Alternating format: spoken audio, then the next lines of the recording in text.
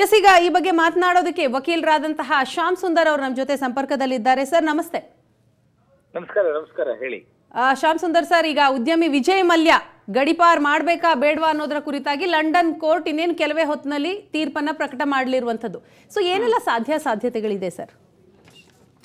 ಈಗ ನೋಡಿ ಅವರು ಈಗ ಬ್ರಿಟಿಷ್ ಸರ್ಕಾರ ಈ ಒಂದು ಒಪಿನಿಯನ್ ಅನ್ನ ಅಲ್ಲಿನ ನ್ಯಾಯಾಲಯಕ್ಕೆ ಕೇಳಿರ್ತಕ್ಕಂಥದ್ದು ಅಂದ್ರೆ it is not that the court decision is going to become final ಈಗ ನ್ಯಾಯಾಲಯ ಕೊಡ್ತಿರ್ತಂತ ಡೆಸಿಷನ್ ಬ್ರಿಟಿಷ್ ಚಕ್ರಾಧಿಪತ್ಯನ ತಲುಪುತ್ತೆ. ಆಮೇಲೆ British ಚಕ್ರಾಧಿಪತ್ಯ based upon the decision of the court ಒಂದು ನಿರ್ಣಯವನ್ನ ತಗೋತಾರೆ. ಈಗ ಇವರು ಬಹಳಷ್ಟು ಲೀಗಲ್ ಗ್ರೌಂಡ್ಸ್ ಅನ್ನ ತೆಗೆದಿದ್ರು. ಯಾರು ವಿಜಯ್ ಮಲ್ಯ ಪ್ರತ್ಯರ್ಪಣೆ ಇದಾದಾಗ ರಿಕ್ವೆಸ್ಟ್ ಹೋದಾಗ ಅಲ್ಲಿ ಬಹಳಷ್ಟು ಲೀಗಲ್ ಗ್ರೌಂಡ್ಸ್ ಅನ್ನ ವಿಜಯ್ ಮಲ್ಯಾರ್ ಅವರು ರೇಸ್ ಮಾಡಿದ್ರು. ಏನಂದ್ರೆ ಈಗ ಯಾವ ಯಾವ ತಪ್ಪುಗಳು ಭಾರತದ ನೆಲದಲ್ಲಿ ತಪ್ಪುಗಳು ಭಾರತದ ಕಾನೂನಿನ ಪ್ರಕಾರ ತಪ್ಪುಗಳು ಅಂತ ಅನಿಸ್ಕೋತಾ ಹ್ಮ್ ಅವೆಲ್ಲವೂ ಇವನ್ ಬ್ರಿಟಿಷ್ ಕಾನೂನಿನ ಪ್ರಕಾರವೂ ಸಹ ತಪ್ಪುಗಳಾಗಿರ್ಬೇಕು. ಅದು ಒಂದು.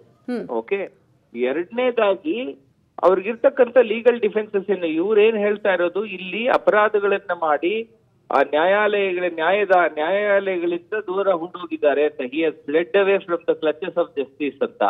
ಸೊ ಹಾಗಾಗಿ ಇವರು ನಮ್ಗಿಲ್ಲಿ ಟ್ರಯಲ್ ಬೇಕಾಗಿದ್ದಾರೆ. ಇವರನ್ನು ನಾವು ನ್ಯಾಯಾಲಯದಲ್ಲಿ ಸಕ್ರಿಯ ಸಕ- ಸಕ್ಷಮವಾದಂತ ನ್ಯಾಯಾಲಯದಲ್ಲಿ ಅವರನ್ನು ಟ್ರಯಲ್ ಗುರುಪಡಿಸಬೇಕು. ಅವರೇನಾದ್ರೂ ತಪ್ಪಿತಸ್ಥರು ಅಂತ ಪ್ರೂವ್ ಆದಲ್ಲಿ ಅವರ ಶಿಕ್ಷೆಗೆ ಒಳಪಡಿಸ್ಬೇಕು.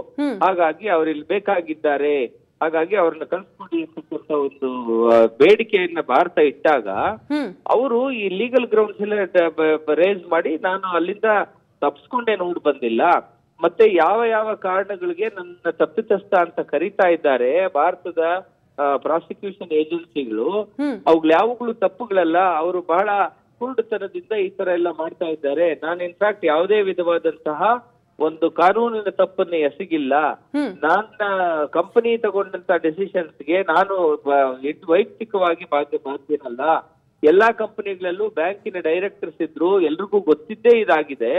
ಹಾಗಾಗಿ ಲಾಸ್ ಆಗಿರ್ತಕ್ಕಂಥದ್ದು ರೆವಿನ್ಯೂ ಲಾಸ್ ಆಗಿರ್ತಕ್ಕಂಥದ್ದು ಮತ್ತೆ ಆ ರೆವಿನ್ಯೂ ಲಾಸ್ ಆಗಿದ್ದರಿಂದ ಬ್ಯಾಂಕ್ಗಳಿಗೆ ಸಾಲವನ್ನ ಮತ್ತೆ ವಾಪಸ್ ಕಟ್ಲಕ್ ಆಗದೆ ಇದ್ದಂಥದ್ದು ನನ್ನ ವೈಯಕ್ತಿಕ ತಪ್ಪಿನಿಂದ ಆದಂತ ವಿಚಾರಗಳೆಲ್ಲ ಹಾಗಾಗಿ ನನ್ನ ನನ್ನನ್ನು ವೈಯಕ್ತಿಕವಾಗಿ ಜವಾಬ್ದಾರಿ ಜವಾಬ್ದಾರಿಯನ್ನಾಗಿ ಜವಾಬ್ದಾರನನ್ನಾಗಿ ಮಾಡ್ತಕ್ಕಂಥ ಪ್ರಮೇಯ ಇಲ್ಲ. ಇವೆಲ್ಲ ಸರಿಯಾದಂತಹ ಪ್ರಾಸಿಕ್ಯೂಷನ್ ಅಭಿಯೋಜನೆಗಳಲ್ಲ ಅಂತಕ್ಕಂಥ ವಾದವನ್ನ ಮುಂದಿಟ್ಟಿದ್ರು ಆದ್ರೆ ಈಗ ಅವೆಲ್ಲ ಯಾವುದು ಹೇಳ್ತಾ ಇಲ್ಲ ಮಲ್ಯ ಶ್ಯಾಮ್ ಸುಂದರ್ ಅವರೇ. ಅವ್ರು ಹೇಳ್ತಾ ಇರೋದು ಈಗ ಭಾರತದಲ್ಲಿ ನ್ಯಾಯಸಮ್ಮತ ವಿಚಾರಣೆ ನಡೆಯಲ್ಲ. Of the argument of the ಯಾಕೆಂದ್ರೆ ಈಗಾಗ್ಲೇ ಪ್ರಿಮಾನೇಷನ್ಸ್ ಇಟ್ಕೊಂಡಿದ್ದಾರೆ. ನನ್ನ ಮೇಲೆ ಈಗಾಗ್ಲೇ ಆ, ಇವುಗಳು ಪೂರ್ವಗ್ರಹ ಪೀಡಿತವಾದಂತ ಒಂದು ಇದನ್ನು ಹೊಂದಿದ್ದಾರೆ. ನ್ಯಾಯಬದ್ಧವಾಗಿ ನನ್ನ ವಿಚಾರಣೆಗೆ ಒಳಪಡಿಸೋದಿಲ್ಲ. ನನ್ನ ಆಲ್ರೆಡಿ. ಮಾಡಿದ್ದಾರೆ. ಹಾಗಾಗಿ ನನಗೆ ಅಲ್ಲಿ ನ್ಯಾಯ ಸಿಗುತ್ತೆ ಅನ್ನೋ ಭರವಸೆ ಇಲ್ಲ ಅಂತಕ್ಕಂಥದ್ದು ಒಂದು ವಾದ. ಹಾಗಾಗಿ ನೀವು ಪ್ರತ್ಯರ್ಪಣೆ ಯಾವಾಗ ಮಾಡ್ತಾರೆ ಅಂದ್ರೆ ಪ್ರತ್ಯರ್ಪಣೆಗೆ ಒಳಪಡ್ತಕ್ಕಂತ ವ್ಯಕ್ತಿಯನ್ನ ನ್ಯಾಯಯುತವಾಗಿ ಟ್ರೈ ಮಾಡಿ ನ್ಯಾಯಯುತವಾಗಿ ಅವನನ್ನ ಶಿಕ್ಷೆಗೆ ಗುರಿಪಡಿಸಬಹುದೇ ವಿನಃ ಅನ್ಯಾಯಯುತವಾಗಿ ಶಿಕ್ಷೆಗೆ ಗುರಿಪಡಿಸ್ತಾರೆ ಅಂತಕ್ಕಂಥದ್ದು ಏನಾದ್ರು ಬಂದ್ರೆ ಆ ರಾಷ್ಟ್ರ ನಿರಾಕರಿಸಬಹುದು ಹಾಗಾಗಿ ಈ ಪ್ರತ್ಯರ್ಪಣೆಗೆ ಸಂಬಂಧಪಟ್ಟಂತ ರೂಲ್ಸ್ ಕೆಳಗಡೆ ನಾವು ಇವರಿಂದ ಪ್ರತ್ಯರ್ಪಣೆ ಮಾಡಬಹುದೇ ಅಂತಕ್ಕಂಥ ಒಂದು ಒಪಿನಿಯನ್ ಬ್ರಿಟಿಷ್ ಚಕ್ರಾಧಿಪತ್ಯ ನ್ಯಾಯಾಲಯಕ್ಕೆ ಕೇಳಿತ್ತು. ಆಮೇಲೆ ಇವರ ವಾದಿಗಳು ಹೇಳಿದ್ರು ನೀವು ಆ ನ್ಯಾಯಾಲಯದ ಮುಂದೆನೆ ಹೋಗಿ ಅವೆಲ್ಲವನ್ನು ಕೇಳಿ ಆ ನ್ಯಾಯಾಲಯ ಒಂದು ಡಿಸಿಷನ್ ತಗೊಂಡು ಸರ್ಕಾರಕ್ಕೆ ಅಭಿಪ್ರಾಯವನ್ನು ಕಳಿಸ್ಕೊಡ್ಲಿ. ಆ ಅಭಿಪ್ರಾಯದ ಮೇಲೆ ನಾವು ಆಕ್ಷನ್ ತಗೋತೀವಿ ಅಂತ. ಹಾಗಾಗಿ ಇನ್ನ ಬ್ರಿಟಿಷ್ ಗವರ್ಮೆಂಟ್ ಹೆಸರು ಕಾಲ ಅಂತ ಒಂದು ಜನಸಾಮಾನ್ಯರ ಪ್ರಶ್ನೆ ಇದು. ಆತ ವಿಜಯ್ ಮಲ್ಯ ಬೇಕಾಗಿರೋದು ಭಾರತಕ್ಕೆ. ಭಾರತದಲ್ಲಿ ವಾಂಟೆಡ್ ಆದ್ರೆ ಆತನನ್ನ ಭಾರತದಲ್ಲಿ ಭಾರತಕ್ಕೆ ಕಳಿಸಬೇಕಾ ಬೇಡವಾ ಅನ್ನುವಂತಹ ನಿರ್ಧಾರ ಏನಿದೆ? ಅದನ್ನ ಯಾಕೆ ಬ್ರಿಟನ್ ತೆಗೆದುಕೊಳ್ಬೇಕು? ಬಿಕಾಸ್ ಈಗ ಆತ ಬ್ರಿಟನ್ ಅಲ್ಲಿ ಅಸಿಲ ಪಡ್ಕೊಂಡಿದ್ದಾನೆ.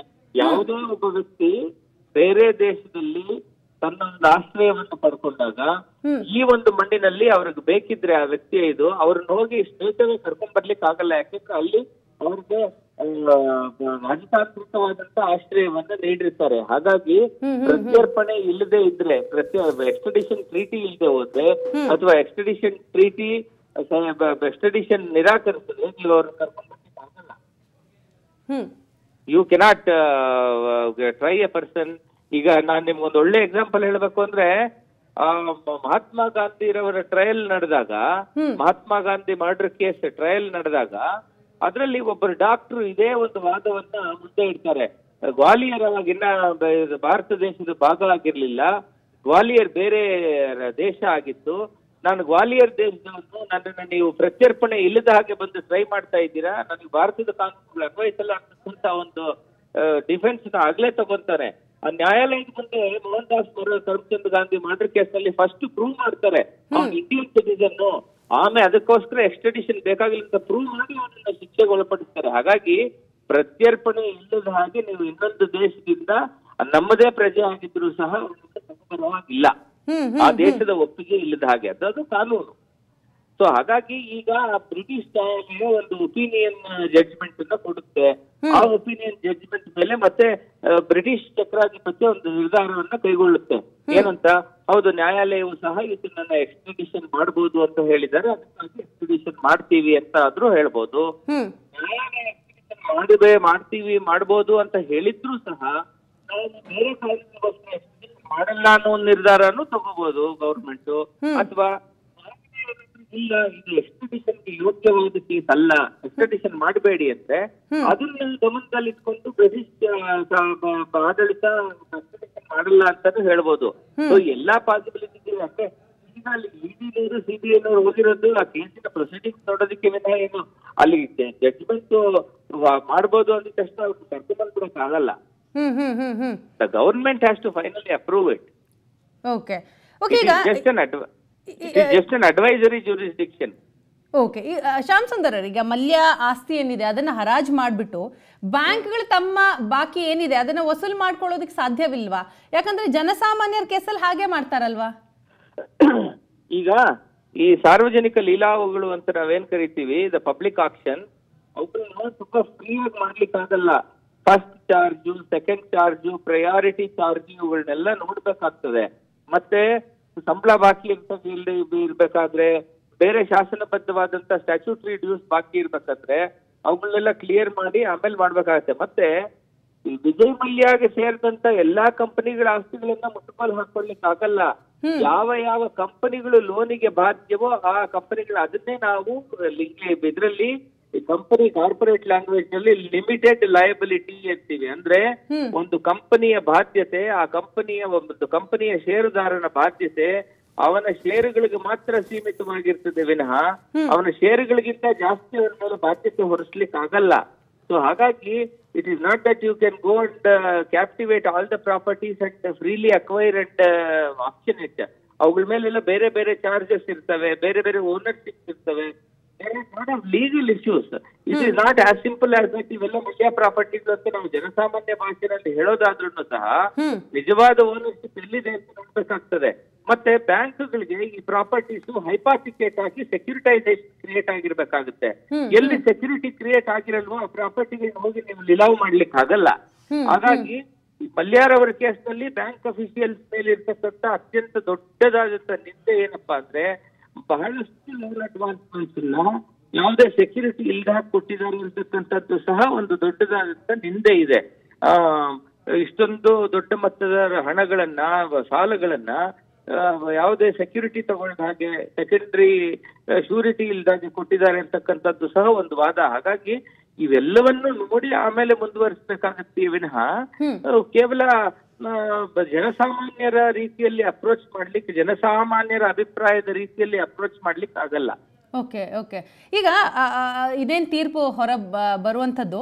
ಒಂದು ವೇಳೆ ಬ್ಯಾಂಕ್ಗಳ ಪರವಾಗಿ ತೀರ್ಪು ಬಂದಿದ್ದೆ ಆದ್ರೆ ವಿಜಯ್ ಮಲ್ಯ ಅವರನ್ನ ಗಡಿಪಾರು ಮಾಡಬೇಕು ಅನ್ನುವಂಥ ಒಂದು ನಿರ್ಧಾರ ಬಂತು ಅಂತಾದ್ರೆ ಸೊ ಇಲ್ಲಿಗೆ ಕರೆದ್ಕೊಂಡು ಬಂದು ಯಾವ ರೀತಿ ವಿಚಾರಣೆ ಮಾಡ್ಲಾಗುತ್ತೆ ಏನಿಲ್ಲ ಏನ್ ಭಾರತದ ಕಾನೂನು ಭಾರತದ ಕಾನೂನಲ್ಲಿ ಏನೇನು ಅಭಿಯೋಜನೆಗೊಳಪಡಿಸ್ತಾರೆ ಅಂತ ನೋಡ್ಬೇಕು ಅವ್ರನ್ನ.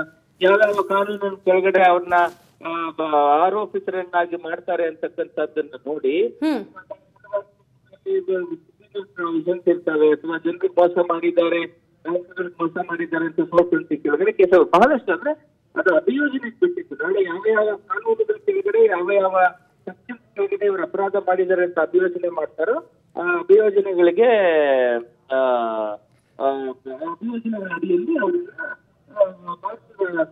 ಕೆಳಗೆ ಟ್ರೈ ಮಾಡಲಾಗುತ್ತೆ. ಹ್ಮ್ ಹ್ಮ್. ಓಕೆ ಭಾರತದ ಕಾನೂನಲ್ಲಿ ಯಾವ ರೀತಿ ನಡಿಬೇಕು ಅದೇ ತರ ನಡೆಯುತ್ತೆ ಅಂತ. ಮತ್ತೊಂದು ಮಲ್ಯ ಮಲ್ಯ ಅವರದ್ದು ಈ- ಅವರದ್ದು ಇನ್ನೊಂದು ವಾದ ಇದೆ ಶ್ಯಾಮ್ ಸುಂದರ್ ಅವರೇ. ಕರ್ನಾಟಕ ಹೈಕೋರ್ಟ್ ಅಲ್ಲಿ ಈಗಾಗಲೇ ವಿಚಾರಣೆ ಬಾಕಿ ಇದೆ. ನನ್ನ ಆಸ್ತಿ ವಿಲೇವಾರಿ ನಿರ್ಧಾರ ಹೈಕೋರ್ಟ್ಗೆನೆ ಬಿಟ್ಟಿದ್ದು ಅಂತ.